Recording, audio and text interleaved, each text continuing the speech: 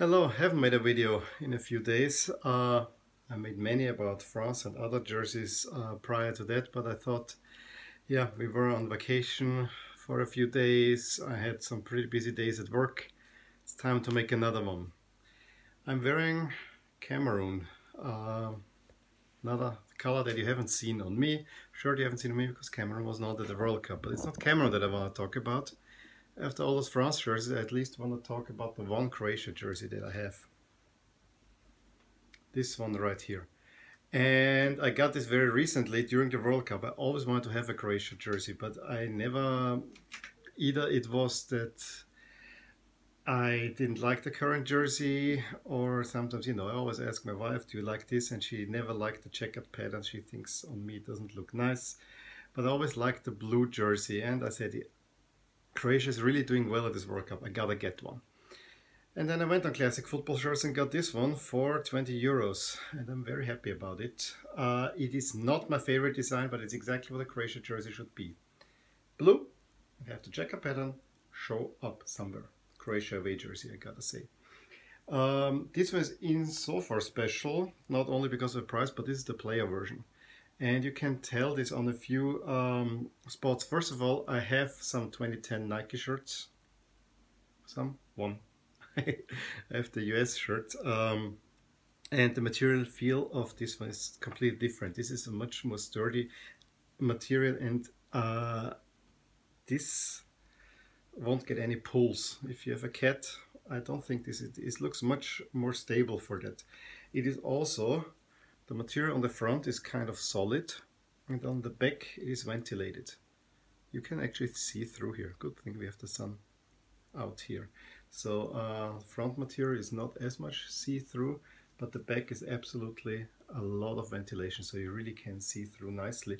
And you can feel it while wearing that on the back. It's actually um, not as stuck or, you know, it is actually quite nice overall. Uh, then the other thing and this is a feature that I was very interested in. It has those holes on the side, which was a thing on Nike shirts from 2010 to 2014, 16, before they came with the new um, super template style. And the holes are actually, they get, if you can see, they are getting uh, thicker towards the middle and then thin out and they are heat sealed. So you have all those black dots on the inside which makes actually uh, when you run you really can feel how it's cooler here. Uh, quite an interesting effect. Then of course the checkerboards are on the sleeves. And if you can see there also is a slight checkerboard pattern here on the front which is visible on the close-up but not very visible on the distance and uh, in addition, there is this, it looks like a band-aid.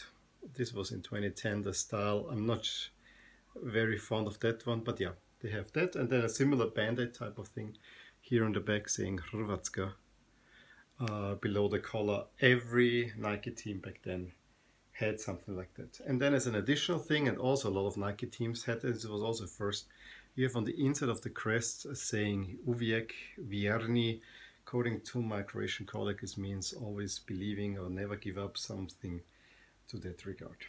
As I said, it's not my absolute favorite Croatia jersey, away jersey ever. Um, I actually am quite split. I think the 2006 version had kind of this checker pattern running down here, which was nice. The 2012 one had this strike out where the checker pattern was here on the sleeves and it was blue on the sides. Um, I also like the one where the, the checker pattern is here below. So, you know, there are many nice, this is almost a little bit brute force, but this, in fact, is the type that Croatia chose the most. I think there are at least two other jerseys with a similar um, style, uh, where you have the blue body and the checker pattern on the sleeves. So in that sense, it's nice.